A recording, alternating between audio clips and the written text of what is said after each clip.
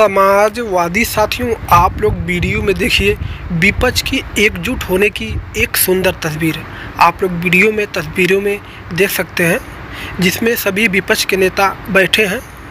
देख सकते हैं आप लोग, कांग्रेस पार्टी के राष्ट्रीय अध्यक्ष मालिका खड़गे जी नज़र आ रहे हैं। साथ में राष्ट्रीय अध्यक्ष माननीय अखिलेश यादव जी नज़र आ रहे हैं। साथ में जयंत चौधरी जी भी हैं और तेजस्वी यादव जी हैं। सीएम केजरीवाल जी भी हैं। समाजवादी साथियों, सभी विपक्ष के नेता एकजुट हैं। आप लोग वीडियो में देख सकते हैं। समाजवादी साथियों, जैसे जैसे 2024 लोकसभा चुनाव नज़दीक आ रहा है, जिस तरह से विपक्ष एकजुट हो रहा है, समाजवादी साथियों, ये हम कह सकते हैं कि आने वाले 2024 लोकसभा चुनाव में बीजेपी पार्टी बुरी तरह से हारने जा रही है। समाजवादी साथियों, आप लोग क्या लगता है?